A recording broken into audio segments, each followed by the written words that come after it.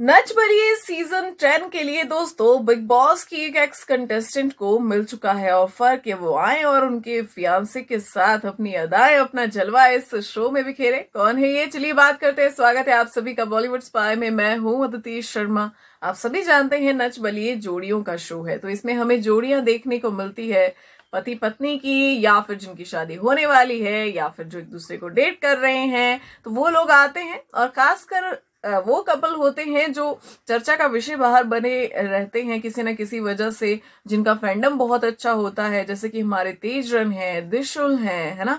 इनका फैंडम जो है काफ़ी ज़्यादा अच्छा है, हमारे प्रियांकित हैं तो ये एक बड़ा फैंडम साथ में लेकर चलते हैं और ऐसे में इनकी पॉपुलैरिटी को कहीं ना कहीं इस शो में और ज़्यादा जो है चार चाँद लग जाते हैं। तो यहाँ पे खबरें सामने आ रही है कि Bigg Boss OTT season one की विनर दिव्या अग्रवाल को भी ये ऑफ़र गया है। जी हाँ नच बलिए की तरफ़ से।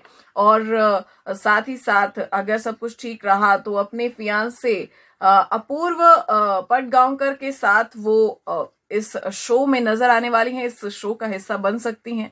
वैसे देखना यह है क्योंकि दिव्या जो है फ़िलहाल उनका थोड़ा सा जो है रियलिटी शो से मन हट चुका है। उन्होंने अपने हाल ही में एक बयान में भी ये चीज़ कही थी कि अब वो रियलिटी शो नहीं करना चाहती, लेकिन अगर फिर भी हो सकता है शायद वो अपना मन बदल ले। आप सभी को क्या है कहना? कमेंट्स में ज़रूर बताइए। मिलते हैं नेक्स्ट वीडियो में।